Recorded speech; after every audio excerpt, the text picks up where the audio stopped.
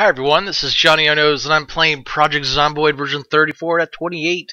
This Let's Learn video is all about how I quickly go through all the different containers that I'm searching on the ground. I had a quick question from Justin Kir. Thanks so much for uh, commenting on one of my videos. So I thought I'd do a quick little video response for him. So uh, here we go. Uh, all we have to do is go to an area that has a ton of containers on the ground. Let me go kill the zombie real quick really quick. there we go. So if you uh, walk over to a bunch of containers, and you see them listed here, uh, if you place your mouse cursor on this black bar that's lined up with all your containers and then mouse wheel, you can quickly peruse each and every single one of the containers on the bar. Let me go to this group here.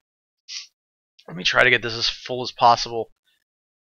I what I like to do is I try to uh, put my mouse underneath any containers. But if you if the whole bar is full, if you kind of go kind of in the middle, er, a middle between two containers, you can then scroll just fine. That's how you do it. Any other questions that anyone has about any of the games that I make videos for, please don't hesitate to comment or uh, contact me through Google. All right, that's it. Thanks so much. This is Johnny Onoes playing Project Zomboid.